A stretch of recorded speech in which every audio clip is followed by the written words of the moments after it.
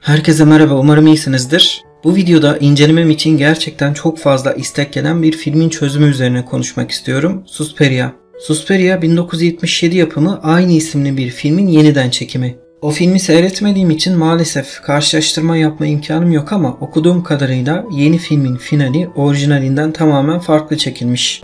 There's more in that building than what you can see, Doctor.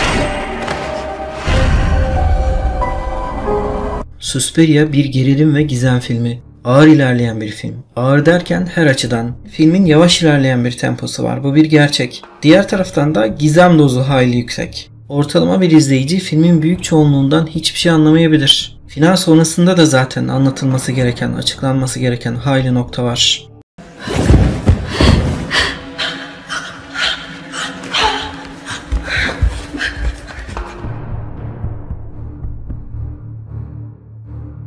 Kendi içerisinde toplam 6 bölümden ve bir kapanıştan oluşan filmin açılışı 1977 yılında Berlin'de yapılıyor. Meşhur Berlin duvarının da bulunduğu o karmaşık ortamda faaliyetini sürdürmeye çalışan bir dans okulunu seyrediyoruz. Suzy isimli genç bir kız tüm imkanlarını zorlayarak Amerika'dan kalkarak bu okula katılabilmek için, başlayabilmek için Almanya'ya gelmiştir. Ama bu okulun daha sonra adım adım ortaya çıkacak oldukça karanlık yönleri vardır. Filmin konusundan bu kadarcık bahsetmek yeterli sanıyorum. Suspiria tamamen gizem severlere hitap eden bir film.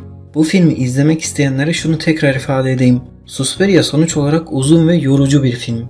Özel olarak finalinde görmek istemeyeceğiniz kadar kan ve vahşet dolu bir yapım. Ben açıkçası filmin gizem yönünü beğendim ki zaten bu videoyu hazırlamadaki amacım filmin bu yönüne ışık tutmak. İkinci olarak şunu söylemek istiyorum çözüme başlamadan önce. Filmde birbirine alakasız hatta rekabet içerisinde bulunan 3 farklı rolü inanılmaz bir başarıyla canlandıran Tilda Swinton'a gerçekten şapka çıkartıyorum. Sen nasıl bir oyuncusun? Sen nasıl bir yeteneksin böyle?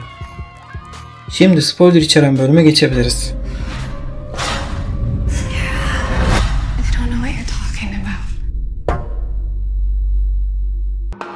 Okulun taşıdığı gizemler. Bu dans okulu ya da dans kursu bilindiği üzere tamamen cadıların kontrolü altında.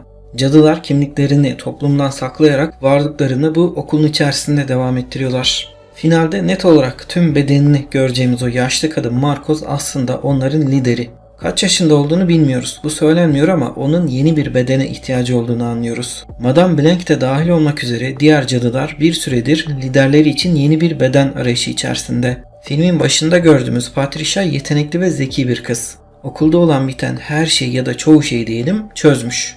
Diğer kızların farkında olmadığı cadıların ve onların hayatta tutmaya çalıştıkları yaşlı kadının da farkında. Ich hatte recht. They're going to try and keep her alive after all.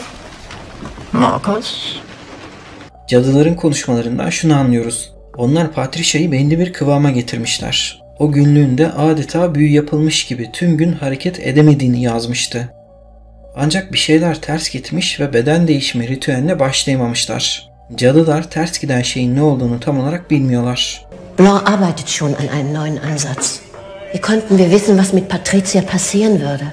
Suzy'nin hemen alt katta bulunan sahte anne Marcos'u hissettikten sonra bunu ima yoluyla Sera'ya söylediği sahnede Sera'nın cevabı çok ilginç. Did you feel something there? Someone? O Suzy'nin bu sözlerini Patricia'nın sözlerine benzetiyor. It's odd. It's the. It's the sort of thing Patricia would say. It's bizarre. Muhtemelen Patricia da ona buna benzer şeyler söylemişti. Çünkü Patricia da aynen Suzy gibi Marcos'u hissedebilecek bir dereceye gelmişti. Ama biraz önce söylediğim gibi cadılar Patricia'da yaşadıkları sorunun ne olduğunu tam olarak çözemiyorlar. Benim buradaki teorim Madame Blanc'in bu değişimin olmaması için, beden değişiminin olmaması için tüm bu hazırlıkları bir şekilde diğer cadılara fark ettirmeden sabote ettiği yönünde. Madame Blanc yeni aday için acele edilmemesini, onun hazır olmadan harekete geçilmemesini istiyor. Wir sollten diesmal nichts überstürzen. Ich werde es Markus sagen, wenn das Mädchen so weit ist. Madame Blanc burada ters psikoloji uyguluyor. Bunun detaylarını daha sonra anlatacağım. Ama öyle ya da böyle fark etmez Patricia deneyiminde cadılar başarısız oluyorlar. Bu arada Patricia'nın Doktor Clamber'la konuşurken onun Sera'yı uyarmak istediğini görüyoruz. I have to tell Sarah to get out of there. İşte bu ince nokta onun tekrar nasıl yakalandığı noktasına da ışık tutuyor. O muhtemelen arkadaşı Sera'yı uyarmak için okula geri dönmüştü ve orada yakalanarak aşağıya hapsedilmişti. Orada da zaten anladığımız kadarıyla onun yaşam enerjisi bu yaşlı kadını ayakta tutabilmek için emilmeye başlandı. Yüzünün aldığı o tuhaf halin açıklaması işte bu. Zaten orada dikkat ederseniz Patricia'nın dışında da birileri vardı ve onların enerjisi de büyü yoluyla bu yaşlı kadını hayatta tutmak için emiliyordu. Yaşlı kadını orada görüyoruz zaten. Okuldaki liderlik yarışı. Bence filmdeki en önemli noktalardan birisi okulda bulunan cadıların liderlik konusunda ikiye ayrılmış olması. Zaten Suzy okula adım atar atmaz bu tablo bize bu nedenle gösteriliyor. Sol tarafta Helena Marcos'u görüyoruz, diğer tarafta da Madame Blanc'i. Okulun ya da cadıların şu anki lideri hala Helena. Örneğin belki bir saniyelik şu görüntüde sanki Marcos cadılarla bir toplantı yapıyor gibi bir hava var. Ancak Madame Blanc bundan memnun değil ve o da liderliği oynuyor. Patricia bunun farkındaydı ve bunu notlarına yazmıştı. She wrote about Marcosites and Blankites. An internal division. Suzy okula geldiği zaman Bayan Tanner'ın bahsettiği kurumsal durum işte bu başkanlık seçimiydi aslında. Company business. It's not a good time just today. Madame Blanc ve Helena Marcos arasında bir seçim yapılıyor. Cadılar oy kullanıyorlar. Marcos. Kill. Blanc. Judith. Marcos. Buta. Blanc. Sonuç olarak Marcos 3 oy farkıyla yönetici olarak kalmaya devam ediyor. Drei mehr für Marcos. Es ist entschieden. Mutter Marcos bleibt an der Macht. Çok yaşa Marcos, uzun yaşa Marcos. Lang lebe Marcos. E yaşamış zaten. Demek ki koltuk sevdası işte böyle bir şey. Ölene kadar terk etmek istemiyor orayı. Bu seçim tamamlandıktan sonra Marcos için beden arayışı hız kesmeden devam ediyor. Patricia başarısızlığından sonra anne Marcos yeni birisini denemek istiyor. Aber jetzt nach der Abstimmung müssen wir das Ritual noch einmal versuchen. Und zwar bald. Ve şu an için en uygun aday Sera gibi görünüyor. Mutter vertraut darauf, dass du schon Ideen dazu hast. Vielleicht wäre Sarah eine gute Wahl. Ama okulun içerisine cadıların hiç ummadığı kadar yetenekli birisi geldiği zaman Sera'nın adı geri plana atılacak.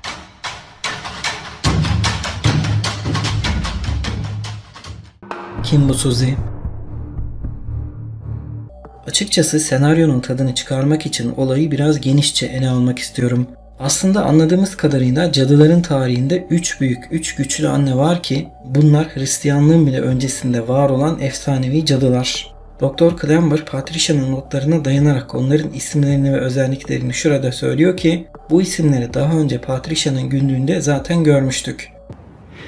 Mother Tenebrarum, Mother Lacrimarum and Mother Suspiriorum.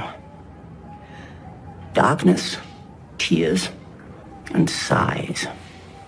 Bu arada okulun içerisinde yönetici olarak seçilen cadılara anne denilmesi sadece bir ünvan. Hatta Madame Blanc bir sahnede artık bu ünvanı kullanmama konusunda anlaşmıştık falan demişti.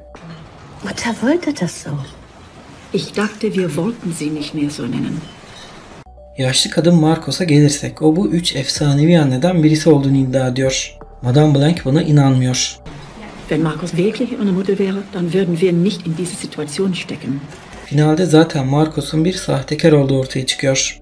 Suzy Marcos'a üç anneden hangisi için kutsal yağla yağlandın diye soruyor.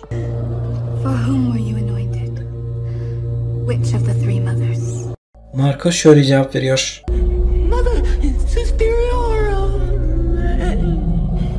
Buradan anladığımız kadarıyla bu üç anne arasındaki en güçlüsü buydu. Marcos bu yüzden onunla kendisini kutsamaya çalışmıştı. Kutsal yağ göndermesine Suzy'nin annesini gördüğümüz bir sahnede daha rastlıyoruz.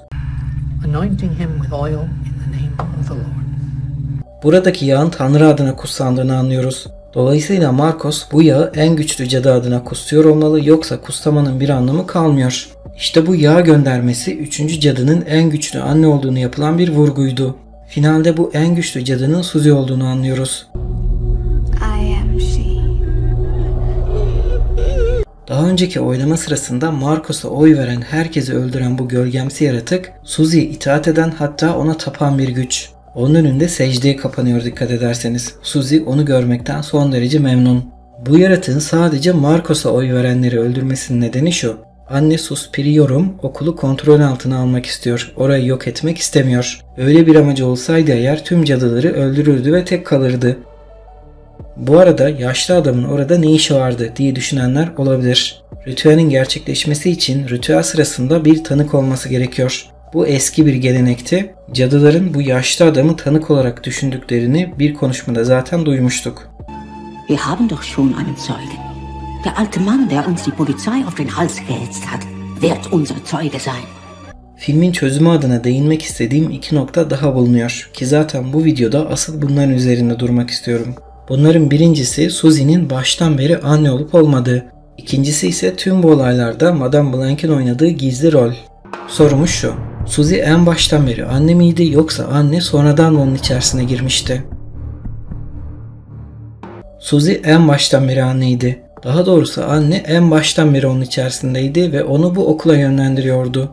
Anne muhtemelen reenkarnasyon yoluyla Suzy'nin bedeninde dünyaya gelmişti. Onun daha küçükken harita üzerinde aksi söylenmesine rağmen defalarca Almanya'yı işaretlemesinin anlamı işte buydu. Anne onun içerisindeydi ve onu yönlendiriyordu. No, Susan. We have to study America. I said no. Aksi durumda onun Amerika'dan kalkarak siyasi olarak karma karışık durumda bulunan Almanya'ya gelmesinin ve buraya gelmek için bu kadar ısrarcı olmasının bir anlamı yok. Ayrıca Suzy'nin annesinin iyileşmesini bile beklemeden evden ayrıldığını görüyoruz ki onun bu acelesi içerisindeki annenin bir an önce okula gitmek istemesinden kaynaklanıyordu. Bu arada Suzy'nin annesi ve çevresi son derece inançlıydı. Bunu evin içerisinde gördüğümüz dini motiflerden, kitaplardan, eve peder gelmesinden, ayrıca Suzy'nin para koyduğu zarfın üzerinde gördüğümüz kilise yazısından anlayabiliyoruz. Böyle bir ortamda yetişen Suzy'nin de normal şartlar altında onlar gibi olması beklenir ama hayır. O inancını geride bırakmıştı, belki de hiç yoktu. Madame Blanc ona bunu sorduğu zaman Suzy cevap bile vermiyor ki bunun anlamı işte bu. Suzy aslında en baştan beri inançsız birisi. You've left religious thinking behind you then? Oh, you're not comfortable talking about these things. I don't know where we are. Suzy'nin baştan beri anne olup olmadığını konuşuyoruz. Buraya kadar özet olarak annenin onun bedenin içerisinde doğduğunu söyledim ve onu yani Suzy'yi Almanya'ya yönlendirdiğini.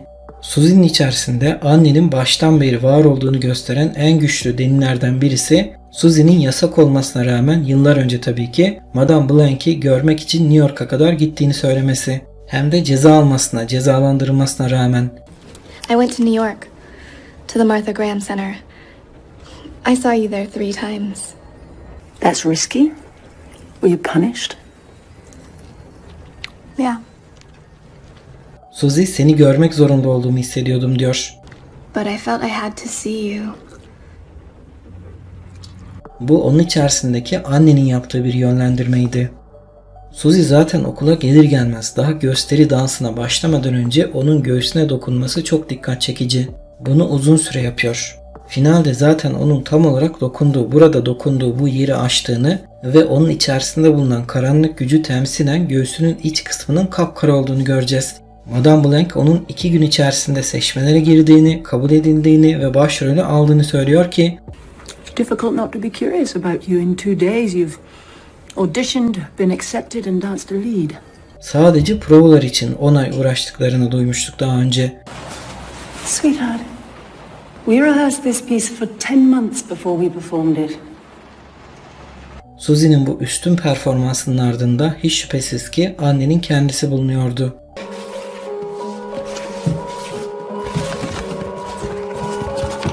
Suzy'nin annesi en küçük kızını yani Suzy'yi kastederek o benim günahım diyor.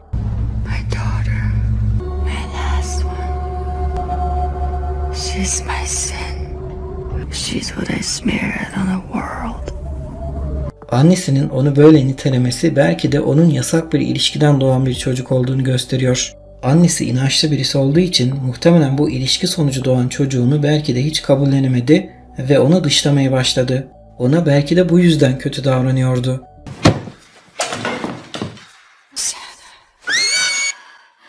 Suzy'nin sonuç olarak kapkara bir iç dünyası var. Annesi belki de bu durumu da hissediyordu ve onu bu yüzden sevemiyordu. Kim bilir. Şurada geçen konuşmada Madame Blanc Susie'ye folk dansı sırasında içinde ne hissettin diye soruyor. When you were dancing, what did it feel like? Inside you, inside your body. Susie'nin cevabı inanılmaz. Bundan cinsel haz aldığını söylüyor doğrudan. It felt like what I think it must feel like to fuck. Bu arada onun bu dans sırasında aslında Olga adındaki öğrenciyi katlettiğini hatırlatmak isterim burada.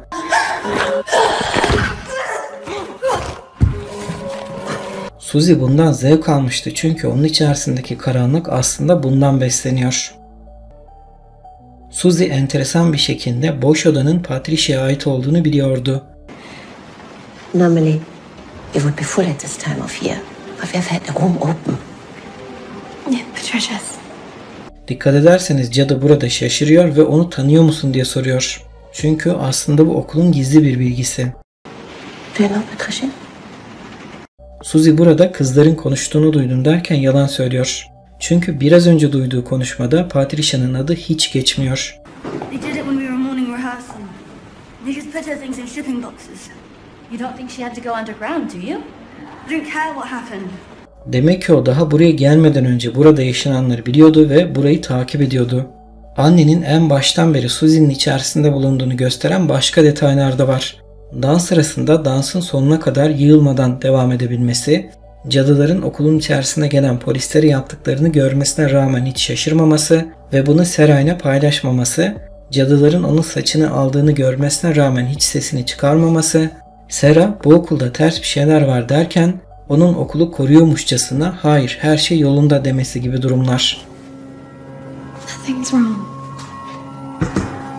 Ama sanıyorum bu kadar detay vermek yeterli. Şimdi başka bir konuya değinmek istiyorum.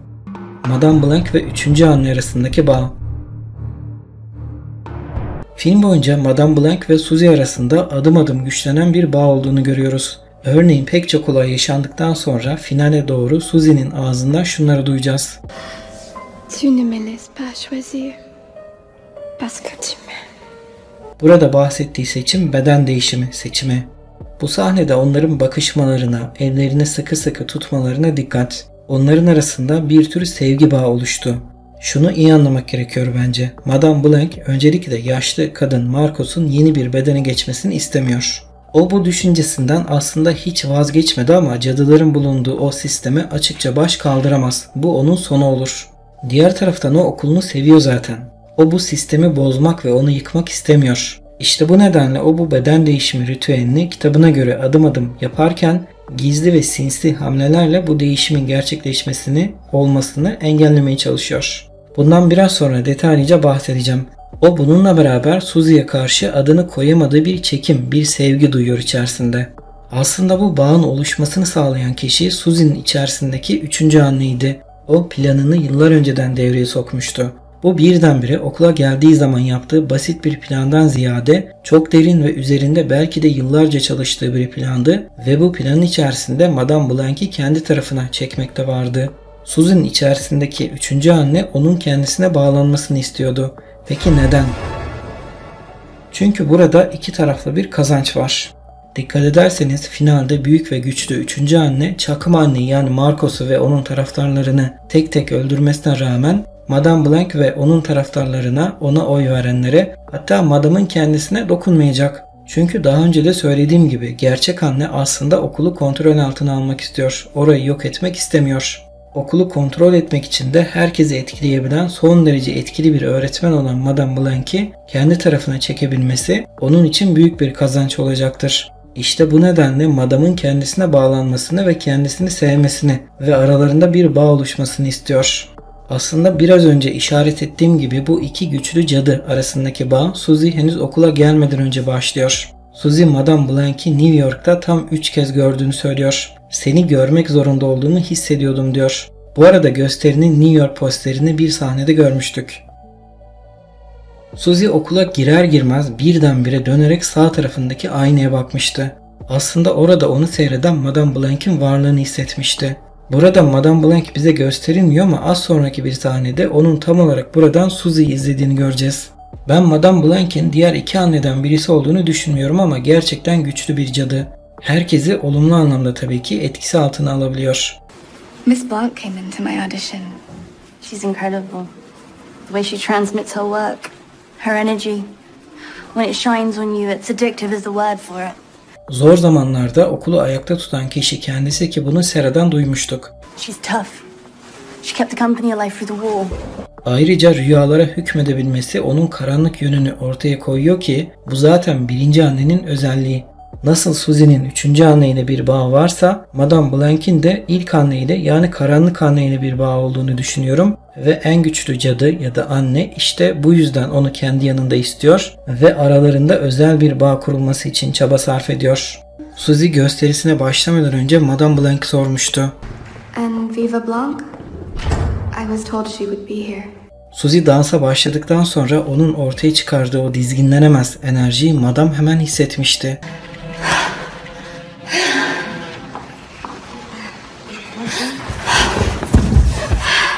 Bu sıradan bir güç olamazdı. Madame Blanc'in yüzündeki şaşkınlık işte bunun ifadesi. Dans gösterisi sırasında Madame Blanc elini onun sırtına geçirerek onu hissetmeye çalışıyordu. Onun burada ondaki muazzam potansiyeli fark ettiğini söyleyebiliriz. Suzy'nin burada Madame'a attığı bakışı kaçırmamak gerekiyor. Onun kendisini fark etmesini istiyor. Bundan hoşlanıyor. Madame Blanc burada sanki her şeyi bırakmış şaşkınlık içerisinde Suzy'yi izliyor. Onun içerisindeki o potansiyelin normal bir güç olmadığını fark ediyor. Madame Blanc Suzy'nin rüyalarına girdiği zaman aslında onun kim olduğunu çözmeye çalışıyor. Ona defalarca bu doğru mu diye soruyor. Onun bu sorusunu Suzy'nin kim olduğumu biliyorum diye çığlık atarak uyanmasıyla beraber düşünürsek Madame Blanc'in onu çözmeye çalıştığını, aslında kim olduğunu anlamaya çalıştığını düşünebiliriz. Suzy ona kim olduğunu söylemiyor. Böyle bir konuşma geçmiyor dikkat ederseniz. Bu ikisi rüyaların içerisinde diğer cadılara fark ettirmeden bir tür iletişim kurmayı başarmıştı. Madame Blanc ve Suzy arasındaki bağı anlatmaya devam edeceğim. Bunu henüz bitirmedik. Şimdilik 3 nokta koyuyorum. Sıçrama hareketi sahnesi. Bu sahneye özel bir başlık açmak istedim çünkü açıkçası burada çok hoşuma giden bir mücadele seansı var. Bilindiği üzere dansın atılışla alakalı ilginç bir sahnesi var ve bu zor bölüm aslında dansın önemli noktalarından birisi. I'm going to ask Caroline to work on your jumps with you. Buraya kadar öğrendiğimiz bilgilere göre sergilenen bu dans, çalışılan bu dans aslında bir ritüel ve cadılar bu dansa bakarak Suzy'nin tam olarak hazır olup olmadığını söylüyorlar. Dolayısıyla dans hareketlerini bir büyü gibi düşünmemiz gerekiyor. Movement is never mute. It is a language. Like prayers. Spells. Hareketlerinin tamamının belli bir amacı var ve hiçbirisi boş hareketler değil. Suzy'nin ya da bir başkasının beden değişimi ritüeline hazır olması için tam olarak dansın tamamının mükemmel bir şekilde yapılması gerekiyor. Bu dans hareketleri, bu ritüel doğru yapıldıkça onu yapan kişi ve hemen alt katta bulunan Marcos arasındaki bağ güçleniyor. Marcos bilindiği üzere bu dans zemininin hemen altında bulunuyor. Bunu daha önce görmüştük. Ayrıca bu özel dans ritüelinde dansçıların bulunduğu ya da durduğu yerin ritüel için ne kadar önemli olduğunu çizimlerden biliyoruz. Kalorin adındaki öğrenci zıplama hareketini bitirdiği zaman kameranın özellikle onun ayaklarına ve zemine odaklandığını görebilirsiniz. Madame Blanc hareket sonunda zaten doğrudan doğruya onun ayaklarına bakıyor yani zemine. Burada bence alt katta bulunan Marcos ve dansçı arasında bir tür bağ oluşuyor. Çünkü Kalorin doğru yerde doğru hareket yapıyor. Onun bu mekandan dışarıya çıktığı anda yani salonun dışına doğru yöneldiği anda kendini kaybetmesi bir tesadüf değil. Suzy'nin içerisindeki anne bu hareketi kitabına göre yapmaktan ve büyünün etkisi altına girmekten ya da en azından alt kattaki Marcos'u beslemekten kaçınıyor. Madame Blanc dikkat ederseniz tam durması gereken yerde duruyor ki Suzy de tam olarak onun karşısına geçsin ve olması gerektiği yerde dursun. Madame Blanc burada doğrudan Suzy'nin gözlerinin içine bakıyor. Onun ne kadar etkileneceğini görmek istiyor. Suzy'nin burada zıplamaya başlamadan önce sağ ayağını hafifçe çekmesi bir tesadüf değil. O ritüeli bozuyor burada. Durması gerektiği yerde durmuyor. Üstelik hareketi de doğru yapmıyor zaten. Madame Blanc'in yüzüne dikkat. Susie'nin bu hareketleri kitabına göre yapmadığının ritüeli bozduğunun farkında ve aslında o da içten içe bundan memnun kalıyor ama bunu tabii ki dışarıya yansıtmıyor. Suzy ya da onun içerisindeki anne burada Madame Blanc'e ayağını zemine vurarak bir mesaj gönderiyor. Her şekilde zeminin üzerinde olmak istiyorum diyor Suzy. What I really want is to be on on the floor right now anyway. Yani Marcos'un varlığının farkındayım demek istiyor. Sonrasında da bu bağ kurmak için erken değil mi henüz anlamına gelen şu cümleyi söylüyor. It's soon for that, don't you think? Bu bir mesaj. Provalarda sona geliniyor. Suzy uzun zamandır bu atlama sahnesi için özel olarak çalışıyor. Ne erkeni, aslında geç bile kalıyor. Madame Blanc tabii ki aptal birisi değil. O bu mesajı alıyor. Onun bu andan itibaren yani mesajı aldıktan sonra Susie'ye herkesin içerisindeyken ne söylediğinin bir önemi yok. Çünkü çevrede Marcos'un destekçileri de var. Söylediğim gibi o burada Susie'nin verdiği mesajı alıyor ve onu bu salondan dışarıya Marcos'un etkisinin olmadığı aynalı odaya kadar götürüyor. Orada yalnız ikisi var dikkat ederseniz. Suzy burada kendisine dans hareketlerini anlatırken onları tarif ederken sözü bir türlü büyüye getirmeden onun etrafında dolaştıran Madame Blanc'e büyü gibi mi deyiveriyor. Movement is never mute. It is a language. Like poems. Like prayers. Spells. Kartlarını aç bana, açık oyna, her şeyin farkındayım demek bunun anlamı ama Madame Blanc hala ona tam olarak açılamıyor. Suzy burada biraz önce yapamadığı hareketi doğru yapabileceğini gösteriyorum adama. O bunun öncesinde Madame Blanc'e bu topluluğun eli olmak istiyorum demişti ki bence bu sahne ikisi arasında zaten oluşmaya başlayan özel bağın zirveye ulaştığı an. Burada haklı olarak Madame Blanc onun üçüncü anne olduğunu anladı mı diye sorabilirsiniz. Ben onun bunu anladığını düşünmüyorum. Ama onun içerisindeki o karşı konulamaz gücün ve anormalliğin ve aralarında oluşan bağın farkında. Madame Blanc sonuç olarak ritüelin gerçekleşmesini istemiyor ki. Evet bunun için uğraşıyor. Böyle görünüyor ama açıkça tavır almak gibi bir şansı yok zaten. Ne yaparsa sessiz ve derinden yapması gerekiyor. Bu konuya final sahnesini anlatırken tekrar değinmeyi düşünüyorum. Şimdilik buna nokta koyarak kısa notlar bölümüne geçmek istiyorum. Filmle ilgili kısa notlar. Doktor burada eşinin ve kendisinin baş harflerinin bulunduğu duvara dokunuyor. Bu anın fotoğrafını filmin başlarında görmüştük. Daha sonraki bir sahnede de zaten canlı halini görüyoruz. Doktor daha önceden eşiyle beraber yaşadığı bu eve gelebilmek için Berlin duvarının diğer tarafına geçiyor. Yani vize alıyor. Bu isimlerin üzeri maalesef boyanmış ama yine de dikkatli bakınca görülebiliyor. Bu çok dokunaklı bir sahneydi bence. Filmde hemen hemen tüm sahnelerde kadın karakterlerin ellerinde görülen sigara detayı çok dikkat çekiyor. Sigaraya neden bu kadar vurgu yapıldığıyla alakalı görüşlerinizi, düşüncelerinizi yorumlarda bizlerle paylaşabilirseniz sevinirim. O günün şartlarında sigara içmek ve kadın özgürlüğü arasında bir tür bağ kurulmak istenmiş olabilir diye düşünüyorum. Dikkat ederseniz film boyunca Susie'yi gizlice takip eden ilginç bir cadı var. Kocaman gözlükleriyle kendisini gizleyen ve diğerlerin arasına neredeyse hiç karışmayan bu kişi kim olabilir? Dikkat ederseniz bu kişi Olga'nın ölümü sırasında olayı görmemesine rağmen olay daha gerçekleşmeden önce hatta gözyaşı dökmeye başlıyor. İkinci cadının özelliği gözyaşıydı hatırlarsanız.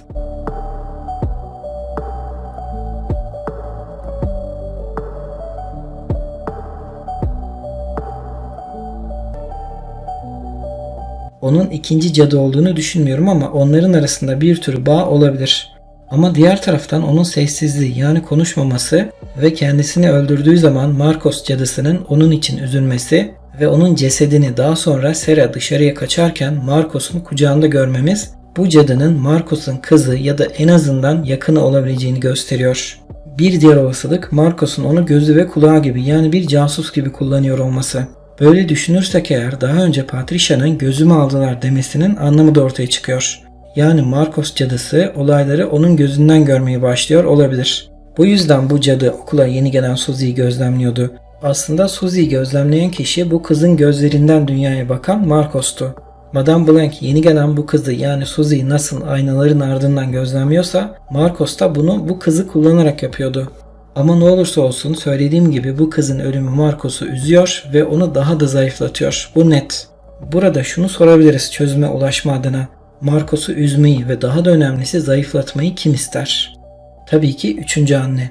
Üçüncü annenin son derece güçlü olduğunu biliyoruz. Ben bu cadının burada masa sahnesinde kendisini öldürmesinin bir intihar olmadığını düşünüyorum. Çünkü bu olayın hemen öncesinde Sera'nın bir anda transa geçtiğini görmüştük. Uyandıktan sonra da şu ana kadar yapamadığı, beceremediği bir şey yapıyor ve alt kattaki gizli bölmenin, gizli odanın yerini buluyor. Aslında onu oraya yönlendiren kişi 3. anneydi. Bence bu iki hamle yani Sera'nın alt katı bulması ve diğer cadının intihar etmesi ve dolayısıyla Marcos'un üzülmesi, zayıflaması 3. annenin Marcos'a yönelik yaptığı hamlelerdi. Onun taşlarını alıyor elinden ve onu adım adım zayıflatıyor. Finalde de son darbeyi vuracak zaten. Burada Madame Blanc Susie'nin arka tarafında ve Susie onu görmüyor. Madame birdenbire geri dönerek elindeki suyu da kullanarak bir tür büyü sergiler gibi davranıyor. Never understood the heart of. She lacked conviction. O bunu yapar yapmaz dikkat ederseniz Suzy onu görmemesine rağmen bunu hissediyor ama büyüden etkilenmiyor. Never understood the heart of folk. She lacked conviction. Çünkü Madam'ın burada küçük deneyler yaptığı, küçük büyüler yaptığı kişinin bedeninde aslında en güçlü anne var. Suzy burada hafifçe gülümsüyor dikkat ederseniz ama bunu Madam'a göstermeden yapıyor. Cadıların burada yemek yemesi, dışarıya çıkması, kahkaha atması, normal davranışlar sergilemesi bir tür kamuflaj. Hem dansçı kızlara hem de çevredeki insanlara karşı normal görünmeye çalışıyorlar. Çevrelerinin bir parçasıymış gibi bir imaj veriyorlar. Doktorun eşiyle alakalı çeşitli yerlere film boyunca parça parça bilgiler yerleştirilmiş. Örneğin burada onun 1943 yılında kaybolduğunu öğreniyoruz ki bunlar Nazilerin Yahudilere soykırım yaptığı yıllardı. Ihre Frau wurde auch vermisst?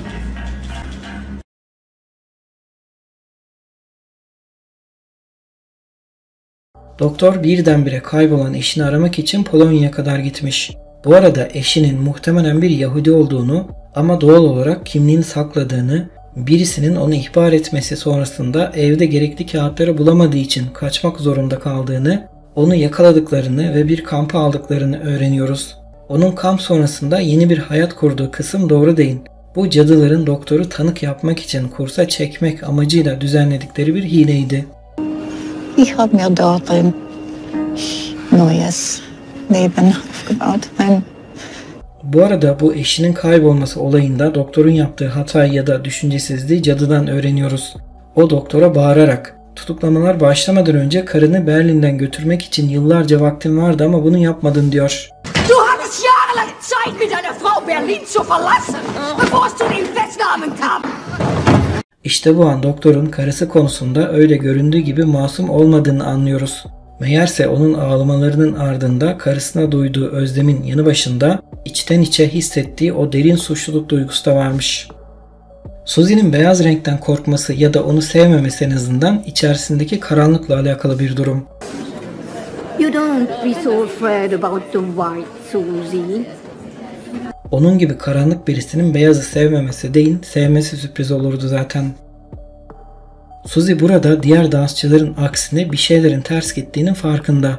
Cadıların konuşmasına dikkat kesiliyor. Az önce Sera'nın nerede olduğunu sormuştu zaten. Madame Blanc burada dansın anonsunu yaparken bu dansı son kez sahneliyoruz diyor. Heute wird das letzte Mal sein, dass es aufgeführt wird. Bilindiği üzere bu dans aslında beden değişimi için gerekli olan bir ritüelden ibaret. Eğer beden değişimi başarılı olursa bu dansın tekrar yapılması için bir neden kalmıyor ortada. Burada onlar neden Sera'nın bacağındaki kırığı iyileştiriyorlar? Çünkü onun yukarıda sergilenen ritüele katılmaması her şeyi boşa çıkaracak. Sera'nın yukarıya gitmesi Marcos'un değişimi için gerekli olan bu adımın, bu dansın, bu dans sahnesinin eksiksiz yapılması anlamına geliyor. Bu arada Sera aşağıdayken kaçmaya çalışırken orada zeminin üzerinde delikler oluşuyor.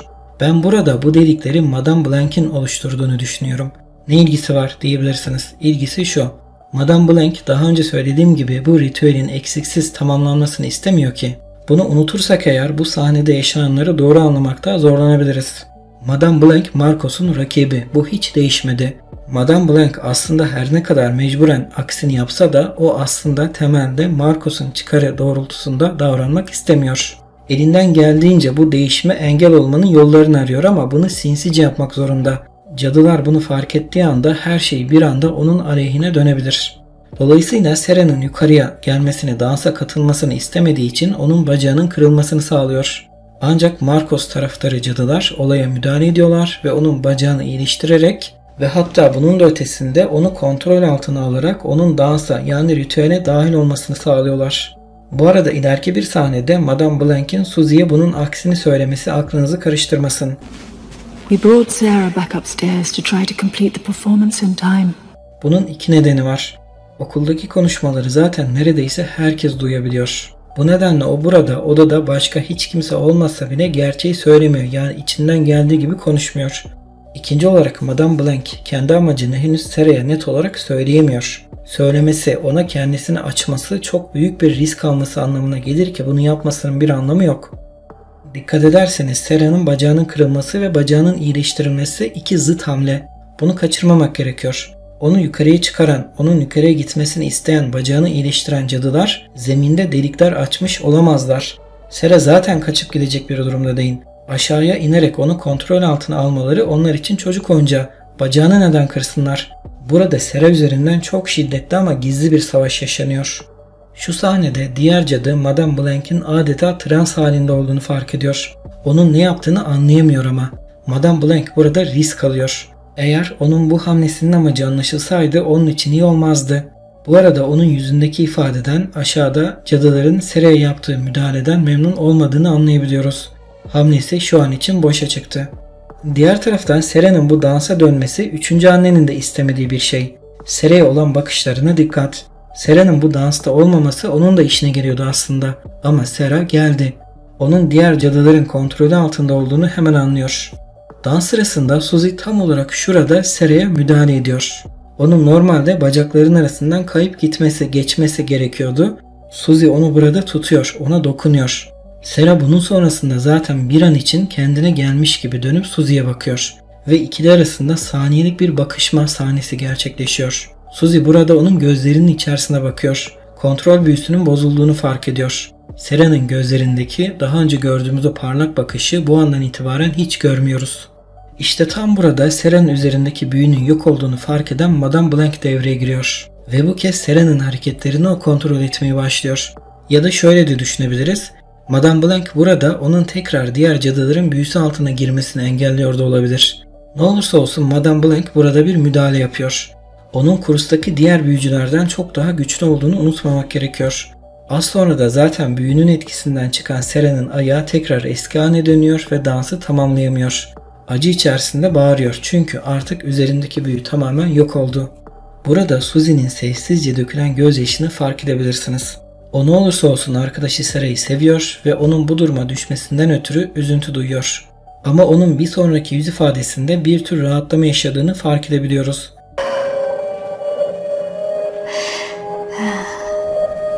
Yaşanılan kaza nedeniyle güya tabii ki bu ritüelin tamamlanamaması muhtemelen Marcos'un beden değişimi hayalini tamamen bitirmese de onu zayıflatan bir hamleydi. Burada tekrar hatırlatmak isterim ki bu gösteri temelde bir ritüel ve beden değişimi için hedef seçilen kişiyi hazırlamak amacıyla yapılıyor. Yemek sahnesinde bahsetmek istediğim iki önemli detay var. Birincisi tabii ki Suzy'nin bu yemeğe dahil edilmesi. Onun değişim için hazır olduğunu düşünüyorlar ve aralarını alıyorlar. İkinci detay Suzy ve Madame Blanc arasındaki bu inanılmaz bakışma sahnesi. Madame Blanc onun bedeninin içerisinde Marcos'un geçmesini istemiyor. Bu yüzden çok da memnun değil bu olanlardan. Ama bunu engellemek için, bu değişimi engellemek için doğrudan bir müdahale yapamıyor. Yaptıklarını gizli yapmaya çalışıyor. Suzy'nin bedenindeki üçüncü anne ise onun bu hoşnutsuzluğundan memnun aslında. Onu kendi tarafına çektiğini anlıyor ve buna seviniyor. Şimdi gelelim final sahnesine.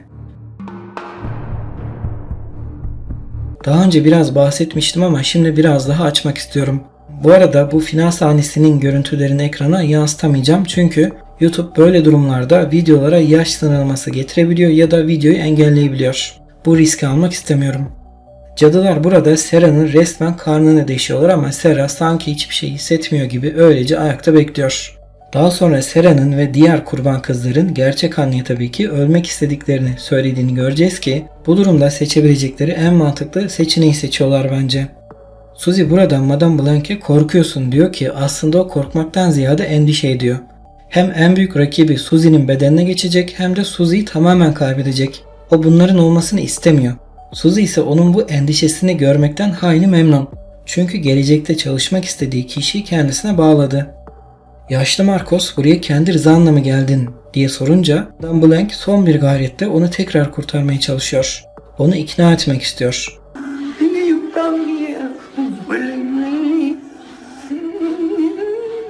You must have no doubts, Susie. If you do, I can take you back.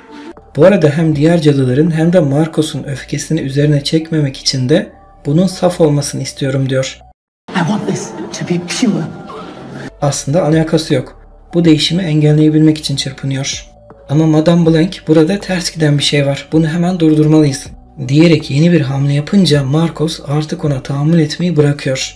İhaneti ve onun Suzy üzerindeki etkisini artık net olarak görüyor ve ona doğrudan öldürücü bir hamle yapıyor. Marcos burada diğer tüm annelere ölüm derken Suzy'nin gerçek annesinin, biyolojik annesinin olduğu yere de bir tür karanlık çöküyor. Ben burada Suzy'nin biyolojik annesiyle olan tüm bağlarını kopardığını, artık tamamen başka birisine dönüştüğünü düşünüyorum. Annesini yani biyolojik annesini öldürdüğünü düşünmüyorum.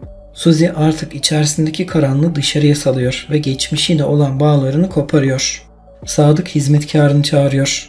Bu sırada artık kim olduğunu söylüyor zaten. Hizmetkarıysa Marcos'un tarafını tutan tüm cadıları temizlemeye başlıyor. Bu sırada Suzy'nin bu vahşetten inanılmaz bir haz aldığını, adeta kendisinden geçtiğini, göğsünü yararak içerisindeki karanlığı serbest bıraktığını görüyoruz. Burada yapılan anonsta Madame Blanc'in topluluğu bıraktığını duyuyoruz. Madame Blanc a quitté la compagnie. Ancak az önce onun ölmediğini görmüştük. Ben video boyunca 3. annenin onunla çalışmak istediğini söylemiştim. Aralarında özel bir bağ oluştuğunda zaten görmüştük. Peki bu durumda soru şu. Madame Blanc nerede? Ona ne oldu? Bence Madame Blanc'in fiziksel bedeni artık kurtarılamayacak kadar ağır bir hasar aldığı için 3. anne onu burada gördüğümüz cadının bedenine transfer etti. Şeytani gölge bu kadını daha önce öldürmeden geçmişti. Ama görüntülere dikkat ederseniz bu cadı önem Marcos'un üzerine kapanarak ağlıyor. Yani o da Marcos'un tarafındaydı. Bu durumda anne onu neden sağ bırakmıştı? Cevabı şu. Madame Blanc'in ruhunu onun bedenine almak istediği için. Bu yüzden onu sağ bırakmıştı. Bu cadının şuradaki dönüşüne dikkat ederseniz bu dönüşün Madame Blanc'in dönüşleri kadar keskin olduğunu ve onu andırdığını fark edebilirsiniz. Zaten burada bu anons yapılırken bu cadının bize gösterilmesi bizler için büyük bir önemli bir ipucu. Evet bir videonun daha sonuna geldik. Ben filmin gizemlerinin çoğunu aktarmaya çalıştım. Burada bahsetmediğim farklı detaylar da var. Ama video gerçekten çok uzadığı için burada kesmek istedim. Umarım videoyu beğenmişsinizdir. Bir başka videoda buluşmak üzere. Kendinize iyi bakın.